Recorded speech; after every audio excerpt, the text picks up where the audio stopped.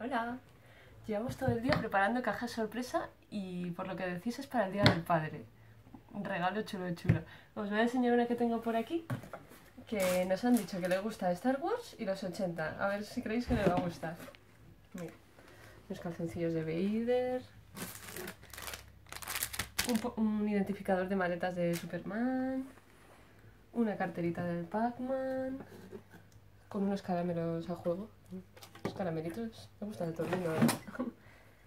Una taza de Expediente X, que ahora que ha vuelto, pues los fans, bueno, como locos, ¿no? Un llaverito de Gizmo. ¡Qué majo! Un mini Funko de, del, del marshmallow este enorme de cazafantasmas. Esto es genial, es un cargador para el coche que, que habla como el coche fantástico. Es genial porque se enciende cuando lo conectas, entonces habla nada más arrancas, que lo tengo yo. Unas zapatillas de Rocky para que esté así todo el día por casa.